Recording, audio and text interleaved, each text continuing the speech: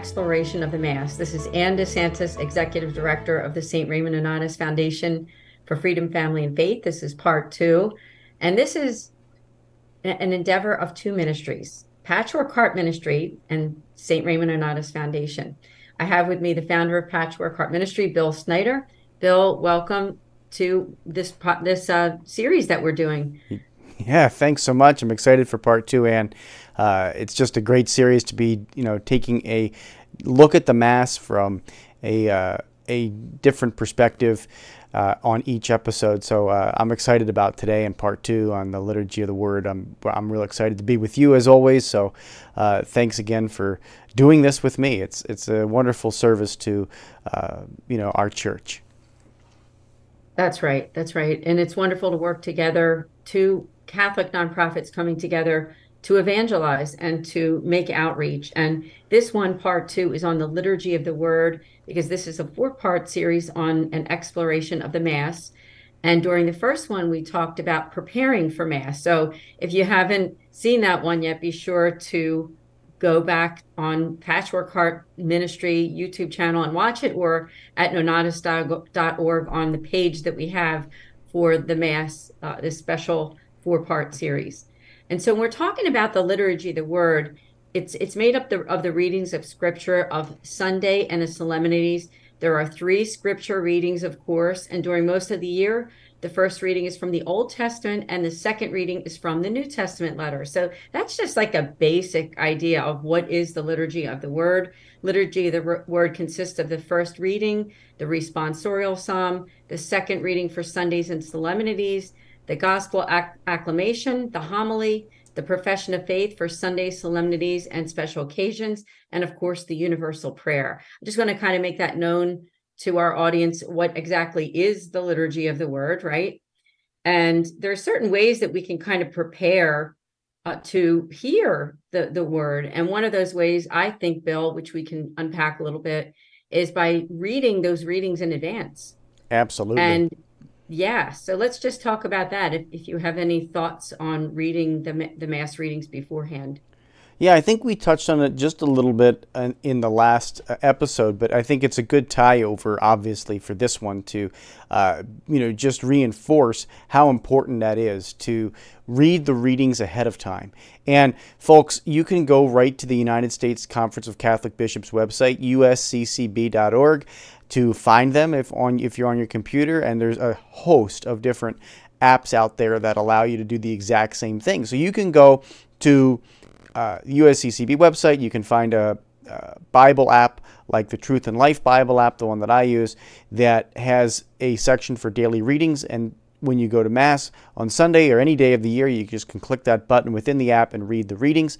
So you can do that at home. You can do that um, if you have the Truth and Life Bible app, you can even listen to them, believe it or not, or listen to the gospel, I should say, uh, because they have an audio, a dramatized audio of that as well. So there's many different resources out there for you to be able to plug into Scripture and really prepare your heart well. It, I think it's one of the uh, most important things that we can do going into the liturgy of the Word, uh, just to help us understand what we're going to be hearing for the day and then be able to meditate on it further at Mass, right? I think um, one of the big things that differentiates just reading the Bible at home versus listening to the Bible at Mass is that it's proclaimed out loud, right? It's proclaimed from a ambo or a pulpit. And that is really, really, really important because God is speaking to us from His Word at, at the Mass. And so if we have an idea of what it says before we go in to Mass, then we can really listen to the voice of God. And so that's the reason why I suggest to pretty much everybody that, that I um, you know talk to in ministry when they say, hey, how do you want to get uh, another step closer to God in the liturgy? Well, start by reading the readings ahead of time. And it doesn't take all that long most of the time because the readings are rather short um, for, for most of it. I mean, it's not going to take you more than 10 or 15 minutes to prepare uh, well for by, by reading the readings. And I mean, it, it, they're, they're not all that incredibly long unless you're, you know, preparing for Palm Sunday or something like that. Yeah, that, that's right. I mean, throughout the year, there might be maybe a, a couple, you know, a few mm. during the year that are super long, but yes. Um, that's great, Bill. Uh, and I love the way that you referred the app too, because I think there's so many resources these days that people can go to to really become accustomed to and to, to meditate upon the words of scripture. And I think that's where we can grow. Um, and that's really what this series is all about is how can you grow? How can I grow? How can Bill grow? Um, not only us, but our families and people that we know. How can we grow closer to God by attending Mass? And Mass, of course, the highlight of Mass is receiving the Eucharist, but the liturgy of the word really that's uh, God's inspired word for us and how, like God's instruction book, right? You've heard people refer to it as that the Bible, Holy Scripture, and gives us that like life lessons in the ways that we can live, teachings of Jesus Christ. And, uh, you know, another way, not only reading the scriptures, I think, in advance, but doing something called Lectio Divina. And that is where you, either yourself or in a group, maybe with your family, where you might read the gospel readings, um, where you read it slowly and you take your time. You might read it maybe one, two, even three times. And as you're reading it, you're kind of picking out those words or phrases that stand out to you, words that might challenge you, words that comfort you, words that speak to you. And I know that my family and I have been doing that for probably, I would say, over the last couple years, especially during uh, since the pandemic. Uh, of course, we were home a lot more during the pandemic, just like all of you were. And we used that time to do that, just that, to read the scriptures and to do Lectio Divina as a family.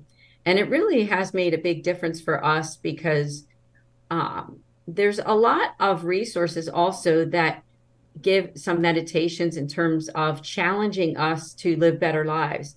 I can think of someone like Bishop Barron that not only does he have the daily meditations, but he also has a video that comes out on Sundays.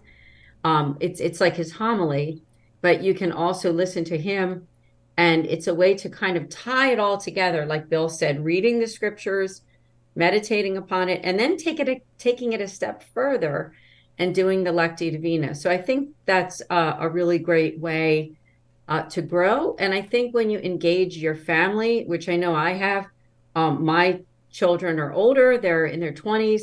I have one daughter that's still at home, but she really looks forward to it. Hmm. I mean, she looks forward to the fact that we're going to take the time to to read read it over. And so when you go to mass, Bill, I don't know if you agree with this, hmm. but when, one, if you read the scriptures in advance and if you do Lectio Divina, it really does come alive for you. You pay attention right. a lot more, don't you think? Oh, absolutely. Absolutely. And I think that it allows you to open your heart and really, I don't want to use the word relax, but it allows you to just be more prepared and allow the word of God to kind of sink into you versus trying to figure out what it's saying for the first time because you've already read it right? You've already encountered it through Lectio Divina. You've already encountered it by meditating on it by yourself, right? You've already done that process. So then, when you do go to Mass, you can just hear the Word of God proclaimed to you, right? That's the beautiful thing about it. Just uh, allow it to wash over you like a wave. And so, absolutely, I agree with you, Anne. I think that uh, making sure 100% that you um, listen to the Mass and you listen to the words of Scripture in the Mass by preparing for it ahead of time versus trying to figure out what it said before. And by encountering God through Lectio Divina is a great way to do that. So, absolutely. That's right, 100%. And uh, as I usually do on many of our podcasts, uh, I always try to find resources, right? Because uh, Bill and I are just two people, but there's so many people who have written and done great things and wrote uh, wonderful words of wisdom on topics. So I did find an article that I thought would be helpful. It's from Denver Catholic, and the article is called The Liturgy the Word, the Lord Speaks to His People. And what this article does is it just unpacks uh, the different sections of the liturgy of the word and starts out with the first reading and it says i'm just going to read what it says here it says in the readings the table of god's word is spread before the faithful and the treasures of the bible are open to them so says the general instruction of the roman missal further using the aforementioned table analogy. As we begin the liturgy of the word, we have our front row seat at this very table. And then it goes on to say that the first reading is usually taken from the Old Testament, the only exception being during the Easter season when it is from the Acts of the Apostles. As with every facet of the Catholic Church, there's a purpose for this. The words of the Old Testament help to paint a fuller, more vivid picture of what happens in the New Testament. Jesus Christ is the fulfillment of the divine revelation foretold in the Old Testament, and the first reading is generally connected to the gospel reading in some way, whether it be thematically or a prefigurement of Christ and the church. So I think that's just a beautiful way of looking at it. There's always a tie, right? Mm-hmm. There's always a tie. And so when non Catholic Christians or just non Catholics say that the Catholic Church is not a biblical church, I, I think that's incorrect. Mm-hmm. Bill, I think you probably have something to say on that. um, because we are a, very much a biblical church. And I love the way that first reading ties in to everything else.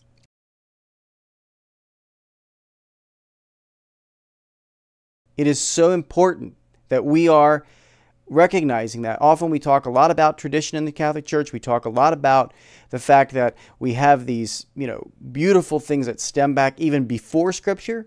But remember that it is our traditions that breathe life into Scripture, right? Through cooperating with God's grace and the Holy Spirit to put pen to paper, right? Especially in the New Testament, right? Like that is so important to remember that because the Gospels weren't written, I think the earliest Gospel that we say was written was the Gospel of John, and that happened in uh, around the year 90 AD, right? And then the other ones uh, followed suit later. So you think about that, that's 60 years roughly after the after the Paschal mystery, right?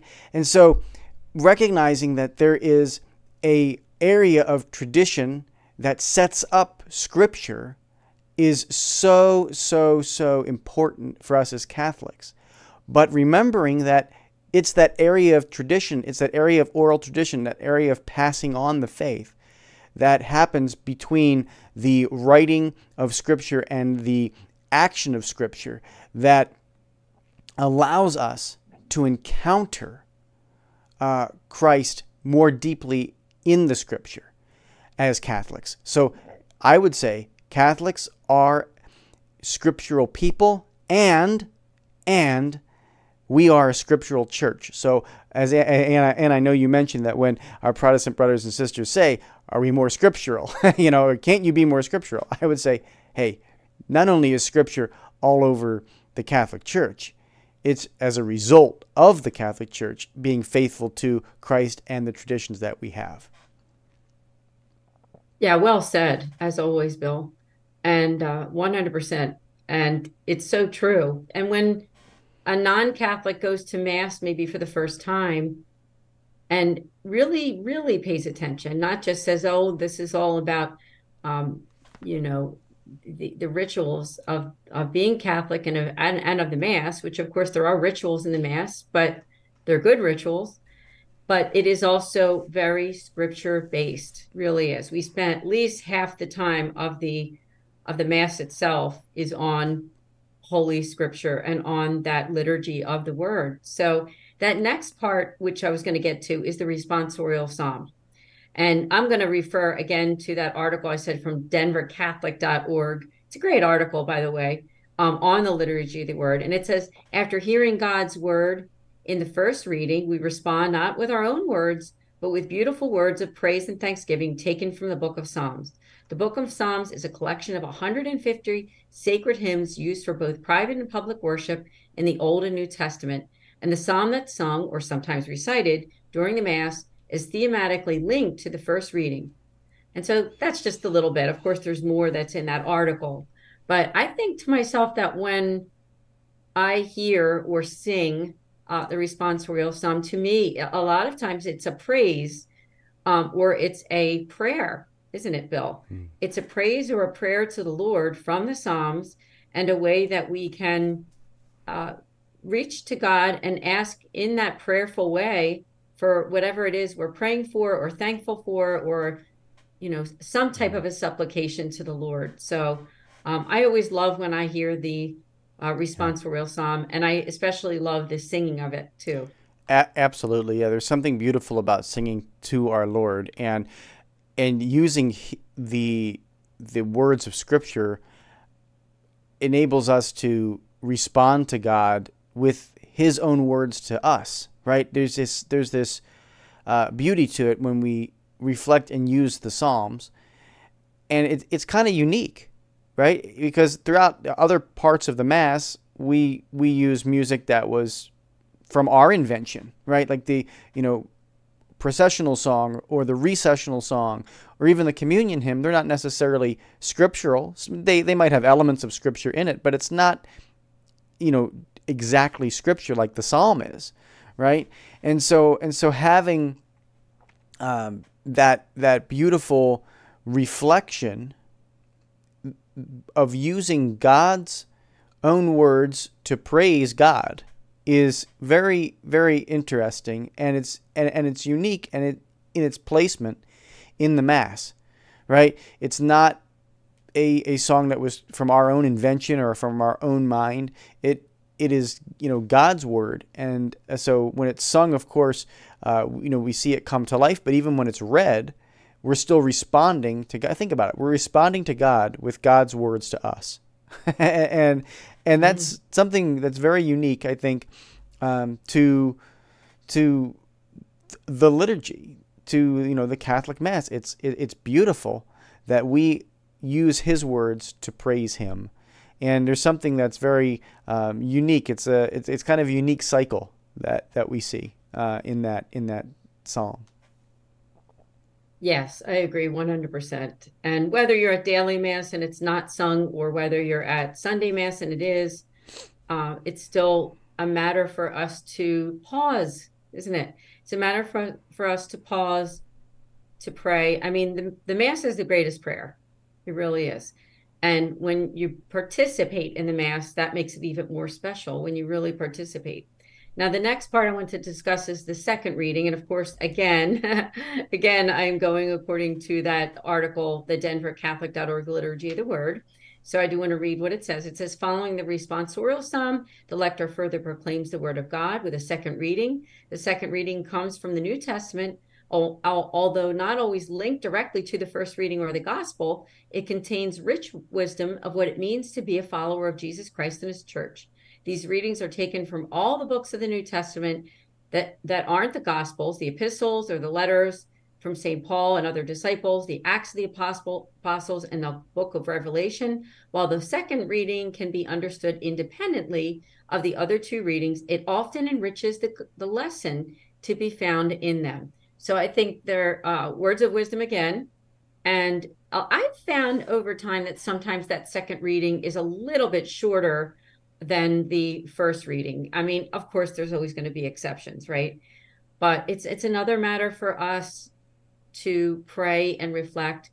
And a lot of times when people do Lectio Divina, as I said, that's that prayer, prayerful way that we can reflect on the Gospels. Many times they do it on the Gospel, but not on the other readings. But I do think that sometimes it's a good idea to at least do the second reading too, because there's a lot of information there and I don't know about you, but I really do love the epistles and the letters from St. Paul and the other disciples and the Acts of the Apostles and the book of Revelation. So, Bill, I didn't know if you had any words to say on that. Absolutely. I think uh, St. Paul has so much wisdom that we really need to plug into and listen to often, right? Like listening to God's word through the person of St. Paul and again, I keep using that phrase. This is God's word, but it's it's through His agents, right? Through those those agents and great saints and and holy men and women that that authored the Bible. And so St. Paul has a wealth of experience. God used the wealth of experience of St. Paul for the bulk of the New Testament. The bulk of the New Testament is written by St. Paul. And of course, the Gospels are of chief importance. We have the book of Revelation, we have the other uh, epistles of St. James and Peter, and all of these other uh, beautiful uh, you know, letters that are there as well. However, however, when, when you look at the wisdom and the experience of St. Paul and what he brings to the table as a man of God and as a, as a saint, as a convert, there is so much to, to listen to. And so, you know, really, I encourage everyone to read the New Testament, but pay special attention to the words of St. Paul because they they have something unique about our times that we're living in. You know, because he went through so much of what we are going through. Um, you know, trying to evangelize in a in a world that doesn't want to listen, right? St. Paul has a wealth of experience about that. And so I would encourage people, you know, really delve into those, um, you know, Pauline letters. And I remember in college, I took an entire course just on the letters of St. Paul. uh, I took a whole course just on the letters of St. Paul, and I found them to be so incredibly fascinating and so uh, wonderfully uh, rich for our times and our uh, place in history. So not only do I encourage you to read them, I encourage you to listen to them and pay attention to them at Mass. Um, you know, and and allow God's word through that agent, uh, Saint Paul, to come and wash over you like a wave, because it is so so important that we really uh, listen to his messages, and even if it's not connected uh, to the Old Testament and Gospel reading, there's still a really pertinent message that God wants you to hear uh, in there. And I know my my parish priest, he often, many times, many, many times he, he preaches on the second reading and always includes the second reading in his preaching uh, because he recognizes how important it is. So, uh, absolutely, Anne, I think uh, this is something that we definitely need to, uh, you know, remain uh, faithful to and, and reflect on and include in our Lectio Divina preparation. Yes, it is 100% again, again. um, now we're up to talking about the gospel. And uh, as I was before, I'm going to refer to that article because I do think it really unpacks it well. It, this article says that now we reach the gospel instruction of the Roman Missal, called the high point of the liturgy, liturgy of the word, the gospel reading. The action that corresponds with the part of the Mass indicates its sacredness. The congregation stands and joins in the Alleluia in the, in the, with the cantor the deacon or priest holds up the book of the Gospels and processes in front of the altar or the ambo following the greeting, The Lord be with you, and our response, and with your spirit. We trace the sign of the cross on our foreheads and mouths and chests in a sim- symbolic gesture whereby we ask for the grace to keep the Lord's word ever present in our minds and on our lips and hearts.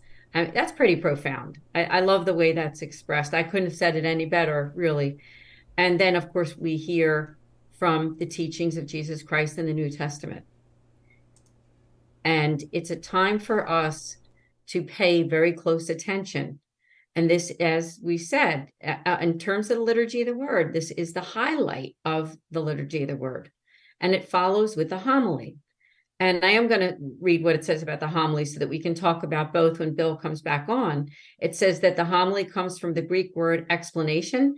From very ancient times, the presiding priest would take time to explain the scriptures that had been read, as it's seen in St. Justin Martyr's account of the Mass dating in the middle of the first century. The practice of following the reading of scripture with a homily wasn't something new for the Christians. The Pharisees had a similar practice in their synagogues and even know from the Gospels that Jesus himself partook uh, in, in it. So let's listen attentively about how the scripture readings can be put into practice in our daily lives and how God wants to tell us something that every time the word is proclaimed. So it's the gospel and the homily. Hmm. This is what people remember when they go to Mass. That's what I would say. Of course, we remember receiving the Eucharist because that's the highlight of the Mass. But when people walk out of Mass, they remember the teachings of the homily, the teachings of the gospel. And of course, we all know that there's priests that are good at it and priests that aren't so good at it. And that's okay because we're there mostly, as I said, because we're receiving the body, blood, soul, and divinity of Christ and to hear the gospel proclaimed. But I think we can always pick even a tidbit of what that priest says and apply it to our daily lives. Even if you didn't particularly like everything that he said, or it was too long or too short, there's got to be something that we can take from it. Bill, what do you think?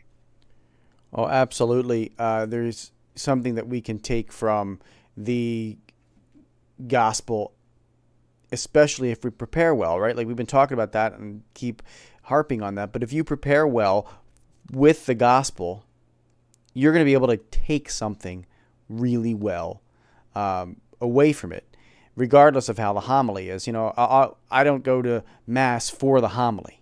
That that's something I don't do. Like I don't go to mass to hear a great homily, because honestly, the homily could stink, but the but the word of God and the person of Jesus is still present to me and he wants to come in and dwell with me and in me. And so that's the reason why I go to Mass. Um, and I think if we prepare well for the Mass, regardless of whether the homilist, by the way, it's not that the homily could stink for, for, for, for you, it might be wonderful for somebody else, right? Because, because God, uh, you know, is meeting a multitude of people there right? So it might stink for you, but it might be amazing for somebody else. And you know, God is speaking through through the priest and teaching through the priest in that homily. So, you know, don't don't always, you know, go rush and judge uh, you know, the priests based just solely on their homily, uh, especially at mass. I'll think that hey, you know what? I'm not the only person sitting here. God God is doing a you know a, a greater work. So don't be selfish and think, oh man, that, that, that homily was terrible. I'm out of here. This isn't any good. No, the, the whole Mass is really good. And if you've prepared well for Mass and you've listened to the gospel and you've read the gospel, uh, you know, ahead of time, then you're going to get something from, uh, you know, that that encounter with with Christ. It really is an encounter with Christ. And I and I wanted to share, um, you know, something that I think of, and I think this will tie in as we, you know, move into the next episode in the liturgy of the Eucharist. I and I, I, was actually looking this up to find out when it occurs in our lectionary cycle, and it couldn't occur in a more perfect spot. So the so the the the Gospel of John, which many of us know as the prologue of the Gospel of John, um, is actually read in the lectionary cycle for uh, Christmas Mass every year on Christmas Mass during the day. So that's John chapter 1, verses 1 through 18. And when you think about it, the reason why that is read is because it is the intersection of the the word becoming flesh. And so it is it is so powerful. I just want to read it and, and reflect on it because this is what's happening at every Mass. And this is what happens in the liturgy of the Word for us if we're well prepared, if we're ready and got our hearts open at every single Mass, regardless of the baby's crying or the performance of the priest's homily or whatever else is going on. This is what's happening for us. And it, it's so true. Listen, listen to this uh, gospel reading from the Gospel of John, the, the, the prologue of the Gospel of John. It says, In the beginning was the Word, and the Word was with God, and the Word was God. And he was in the beginning with God. All things came to be through him, and without him nothing came to be. What came to be was through was through him was life, and this life was the light of the human race. The light shines in darkness, and the darkness has not overcome it. A man named John was sent from God, for he gave testimony to the light, so that all might believe through him. He was not the light, but he came to testify to the light. The true light, which enlightens everyone, was coming into the world. He was in the world, and the world came to be through him, but the world did not know him. He came to what was his own but his own people did not accept him. But those who did accept him gave him power to become children of God, to those who believe in his name, who were not by natural generation, nor by human choice, nor by a man's decision, but of God. And the Word became flesh and made his dwelling among us. And we saw his glory, the glory of the Father's only Son, full of grace and truth. I'm going to end it there. That's that's um, verse 14, but the gospel reading does continue to uh, 18. Uh, and you can read that on your own. But just listening to that and reflecting on that is really where I see the power of the liturgy of the the liturgy of the Word, and its intersection with the liturgy of the Eucharist. It brings us from the Word became flesh and dwelt among us, right? And it clearly says that the Word was God, and the Word was God. So the Word that we just heard was God speaking into our hearts. If we unpack that scripture reading for us sitting in the pews, right? The Word that we just listened to was God. And what happens? He is about now to become flesh and make his dwelling among us. That that's the mass. Like you're looking for a description of the mass, a quick description of the mass. That's the easiest thing to quote, right?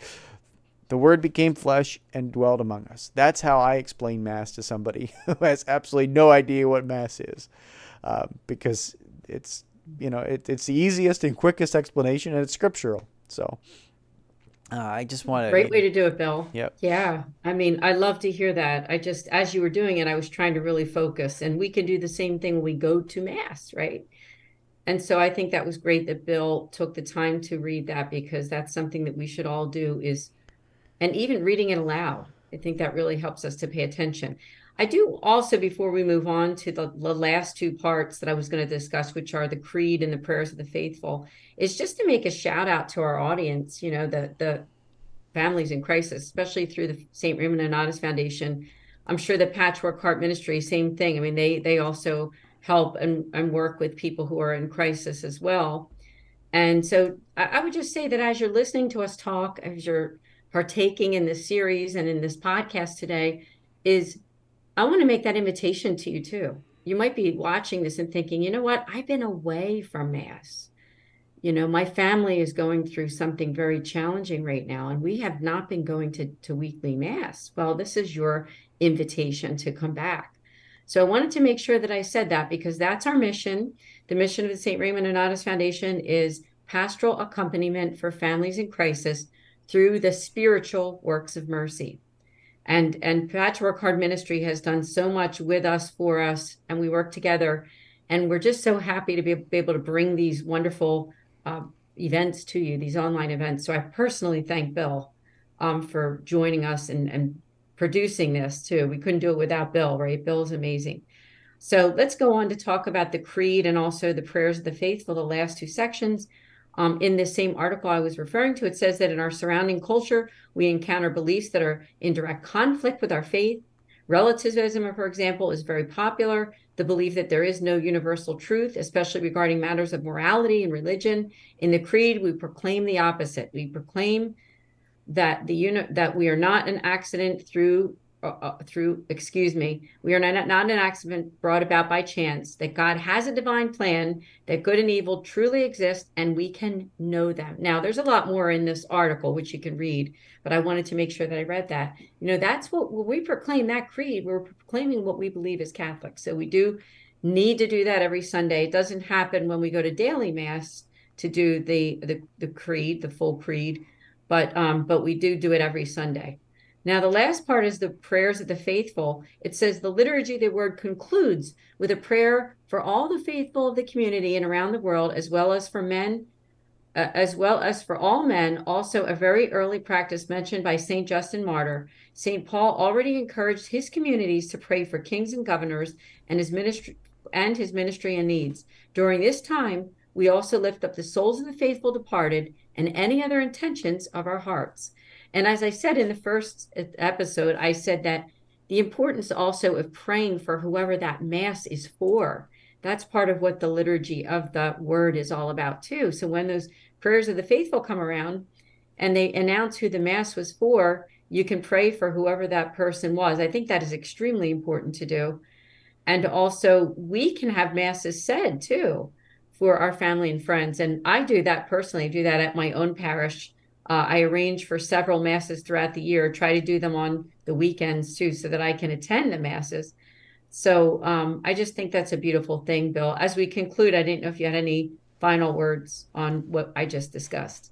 Yeah, you know, I think uh, having uh, those elements of the creed and the prayer of the faithful are a beautiful spot to put them in the mass. Like when you think about where we're going, right? We're going to the altar, and we, especially when we are bringing our intentions to the altar, so that God can God can hear hear us, and we we ask Him to listen to our hearts, right? That that's one of the responses, like Lord, hear our prayer, right? And so we ask Him to listen to our hearts, and we ask Him to understand us and our needs. And it's a perfect place to put it because we've just listened to, to God speak to us through Scripture. And now we're going to take the needs that we have, the, the things that we have, and place them at the foot of the altar. Bring them up. You know, we, we look at the preparation of the gifts that begins the liturgy of the Eucharist, and we're going to talk about that in our next, you know, segment. But when you when you think about what precedes that, it's the prayer of the faithful, and we we speak those needs out, and then we bring them up to the altar. And so the so the placement of that, I think, Anne, is is really important for us to re, to remember. You know, the we, we conclude the liturgy of the Word with bringing what we are looking for from God this week to to the altar, and so that God can then begin His transformation process within our hearts. Uh, and so you know, it, it, you know, we you said it earlier, it kind of all ties together, right? and it's so important to remember that this all ties together. We can't just segment this. I mean, we can segment it in a podcast, but we can't segment liturgy of the Eucharist, liturgy of the Word. Like, like it just it, it it's one whole beautiful mass um, that that we get to encounter. And without without the liturgy of the Word, it's it's not a full mass. So, um, you know, just remember just remember that. Uh, it's, it's not a mass without the liturgy of the, of the word. Um, so we've got to have both hand in hand. And the word becomes flesh and makes his dwelling among us. In the mass, and we get to talk about that next next time, the dwelling among us part, which is super fun. so thanks, Anne. This has been wonderful. It really has, Bill. Thank you so much. So join us for part three, where we're going to talk about the liturgy of the Eucharist. We'll see all of you next time for part three of an exploration of the Mass. God bless. See you then.